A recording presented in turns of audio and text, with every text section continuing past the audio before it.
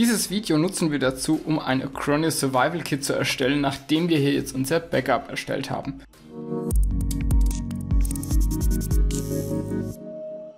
Wie ihr ein Backup erstellen könnt, habe ich in einem anderen Video gezeigt, schaut dazu einfach mal in die Infokarte. Hier unter meinem Backup habe ich jetzt die Möglichkeit, das Survival Kit zu erstellen. Ich klicke einfach mal drauf und klicke jetzt hier auf Erstellen. So, hier finde ich die Meldung ein bisschen komisch, dass das Laufwerk formatiert wird, weil ich gar nicht weiß, welches Laufwerk formatiert wird. Wir lassen uns mal überraschen und ich klicke mal auf Laufwerk formatieren. Wenn ich Pech habe, ist es das, wo das Backup auch drauf liegt. Da verstehe ich aber die Logik von Acronis nicht, dass die das jetzt, ja doch, haben sie gemacht, tatsächlich. Okay, also E ist gerade formatiert worden, wo eigentlich das Backup drauf liegen sollte. Also das ist ziemlich dämlich gemacht, würde ich sagen. Das heißt für euch aber im Umkehrschluss auch, wenn ihr das erstellt habt, entweder erstellt ihr das als erstes oder ihr müsst danach direkt ein Backup erstellen. Wir warten jetzt auf jeden Fall mal, bis Acronis das Ding erstellt hat. Können ja schon mal gucken, was er da drauflegt. Bisher habe ich noch nichts erkannt. Ah, da hat er was gemacht. Okay, also der ähm, formatiert tatsächlich das Laufwerk. Ich tu, tu mal meinen zusätzlichen USB-Stick rausziehen, dass der nicht stört. Und ich habe hier jetzt E und G als Laufwerk. Ich bin mal gespannt, was er jetzt damit macht.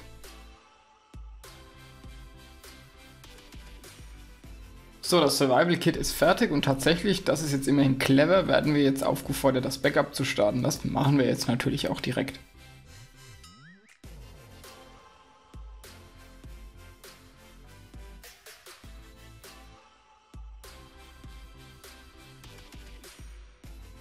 So, das Backup ist jetzt erfolgreich abgeschlossen und ich will natürlich noch sehen, was wir jetzt für einen Vorteil mit diesem Rescue Kit hätten. Hier ist jetzt auch das Logo ein bisschen anders, das heißt, er hat jetzt erkannt, dass wir hier ein Rescue Kit haben. Hat jetzt halt zur Folge gehabt, die Erstellung, dass der erstmal alles gelöscht hat, was auf dem ja, USB-Drive drauf war. Hier sehe ich jetzt mein Backup, ist jetzt also hier mit 10,5 GB erstellt und äh, ich würde jetzt einfach mal neu starten, weil ich gehe mal davon aus, dass wir jetzt ein Boot-Medium erstellt haben. Jo, also, nach dem Neustart sehen wir uns wieder. So, mit F12 bin ich jetzt mal in den Boot Manager gegangen und hier versuche ich jetzt mal ein USB-Device auszuwählen. Mal schauen, ob wir jetzt unseren Stick angezeigt bekommen. Tatsächlich bekommen wir, und zwar Acronis To Image. Hier kann ich jetzt mit 1 auswählen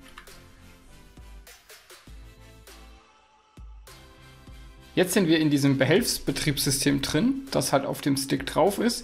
Sieht hier so ein bisschen aus wie ein Windows, hm, würde mich aber wundern, ist wahrscheinlich eher Fake.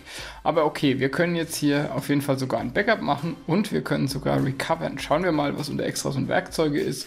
Auch da ist ja auch einiges dabei. Startup Recovery Manager und Laufwerke lassen sich klonen.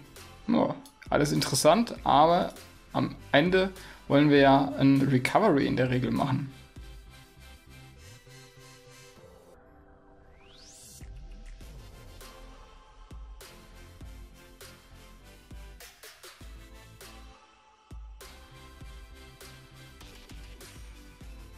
So, wie konnte ich jetzt also das äh, Laufwerk finden, beziehungsweise das Backup? Das war gar nicht so einfach, denn ich muss hier muss mal groß machen hier. Irgendwie ist das ein bisschen umständlich. So, hier musste ich nach rechts gehen und auf nach Backup durchsuchen klicken und erst dann konnte ich hier auf dem USB-Stack das Backup hier finden.